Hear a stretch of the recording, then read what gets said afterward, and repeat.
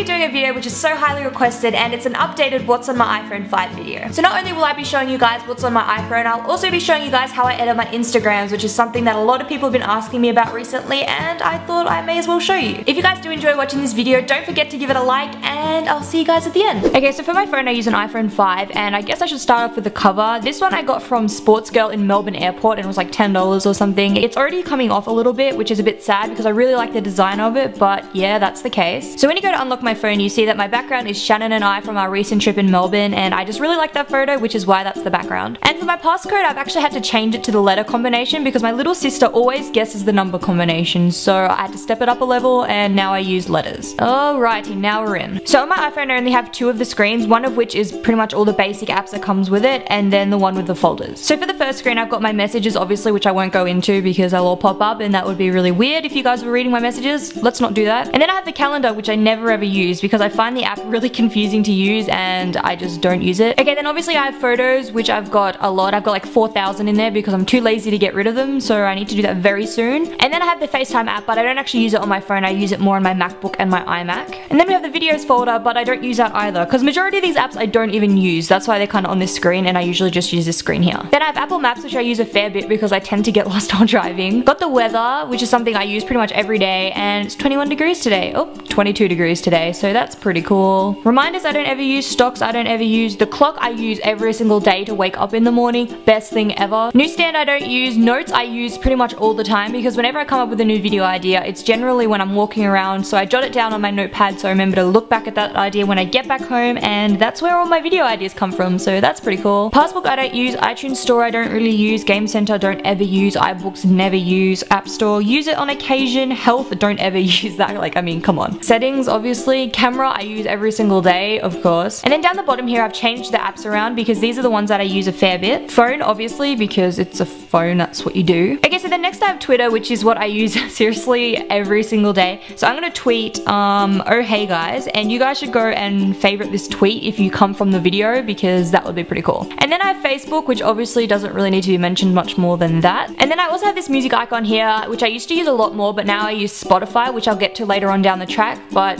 that's why that's there. So obviously my home screen is another picture from Melbourne and then the first folder I have here is called utilities. Here I've got my contacts, calculator, compass, voice memos, mail, pretty much all the stuff that you don't really need but you might need on occasion so it's there. And then I have the app for Westpac Banking which is my bank which is the best thing ever when you're traveling to be able to use mobile banking. Trust me on this one. And then I have Shazam which I use on occasion when I hear a song that I really like and I don't know the name of it so I just Shazam it and it pops up. So next I have podcasts which I listen to Grace Helbig's Not Too Deep podcast on. That's literally the only reason I downloaded this, so there's that. So the next thing I have is the Virgin Australia in-flight entertainment app, and it's literally the best thing ever. Because I travel with Virgin Australia a lot, it's pretty cool because you can connect this to their in-flight entertainment and watch movies and listen to music and stuff while you're on the plane, and it's free, so that's pretty cool. So when I swipe over, you can see I've got the app for Uber, which is a cab service which you can order directly from your mobile phone, and it's literally the greatest thing ever. I use Uber a lot when I'm traveling in Sydney and Melbourne, and I highly recommend it, so much so that there's a link in the description box down below where you can get $10 off your first ride if that's something you want to do and trust me you want to do it. So the next app is iMovie which is something I purchased when I tried to film vlogs on my phone and upload them directly but it didn't turn out so well and I haven't really used it since. And then I have Fruit Ninja because obviously Fruit Ninja is a fun time. So this app here is for all the girls out there who want to track their period. Trust me it's the best thing because you know when it's coming and you don't get surprised and it's just a really good time. I highly recommend getting this app because you know exactly when to get ready for it. Then I have this tips app which is something the iOS 8 downloaded and I never use it and it's just kind of annoying when it pops up, but it's there. Flappy Bird, of course. Then I have the Virgin Mobile account app, which is really good to keep track of my data usage and all that other stuff with my phone. I've got my mobile account and my frequent flyers hooked together, which means that whenever I spend money on my phone bill, I actually get frequent flyer points in return, which is something pretty cool and it definitely helps out when I'm traveling around. Then I have this app here called Sleep Talk and it is honestly the funniest thing ever because you can record yourself when you go to sleep and it'll like pick up when you talk and we'll record it and you can play it back in the morning and you say some pretty weird stuff in your sleep. So then I have the app for Just Dance Now, which is where you can use your phone as a like dancing device thing, like you know, a Wii remote controller thing, and you can play it on your web browser and it's free. And then moving on to the next folder, I have all my social media. Safari there, even though it's not really social media, but that's just where I wanted to keep it. Instagram, of course, because Instagram is the best, and if you're not following me on Instagram, you should probably do that. And then I have Snapchat, which you guys should go follow me on if you want to. It's Natalia's iPhone, as said there, and I Snapchat throughout my day and I say things and do things and that was me literally 15 minutes before I started filming so you should definitely follow. So the next app I have is Follow which is like a fangirl app kind of thing for like Justin Bieber, Ariana Grande. You can keep up with what they're doing and yeah I guess. But then I have Vine which you guys can follow me on if you want. It's just Hey I'm Natalia. I sometimes post Vines and do things and things are fun so go and do it. Then I have Spotify which is the best thing ever. Honestly I'm so glad that it was introduced to me because it's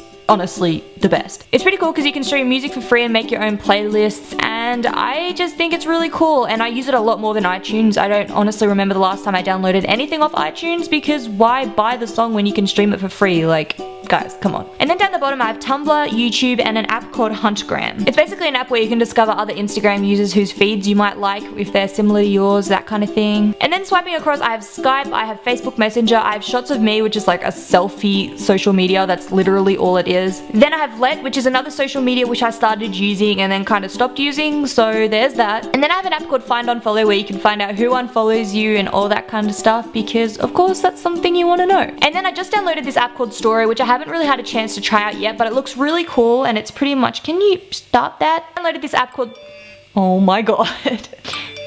Are you freaking kidding me? Like actually kidding me? Oh my god, Shannon. It looks pretty cool. It seems like a more professional version of the Snapchat story feature, so yeah. And then moving on to my final folder, which is called photography, and it's literally all the apps and stuff that I use to edit my Instagram photos. First off, I have Instapic Size, which I don't even remember what it does. I'm pretty sure you can just put like a border on it or something. I don't really remember what half these apps do. Afterlight is the app that I use for all of my Instagram photos, and I just love it a lot. So basically what I do is load a photo. Alright, so we're gonna pick this one for example, which is one that I've already posted before, so I know how I edited it, so I guess I'll show you how I did that. So basically I go use, wow, great. And then all I do is pretty much turn up the brightness a little bit on all of them just because I like the brighter effect on everything. And then in the filters I go to guest and I pick the filter Russ and I just turn that down to around 60% mark, maybe lower, maybe higher, depending on what the photo looks better as.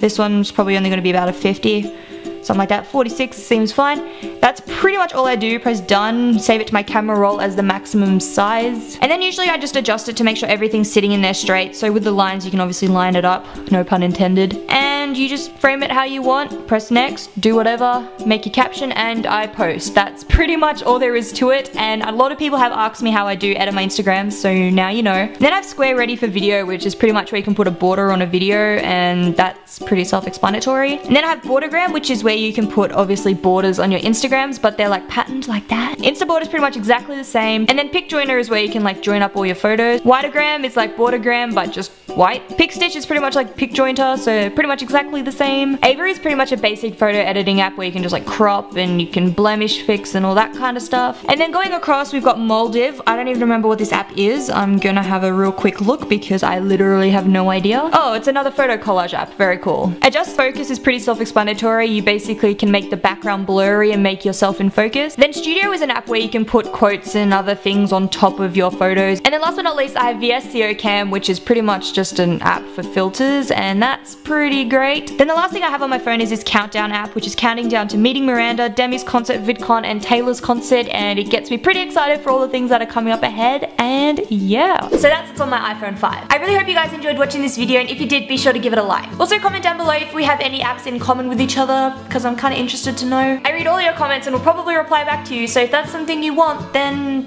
you should comment. So that's it for today, I'm gonna go and I'll see you guys next time. Bye guys.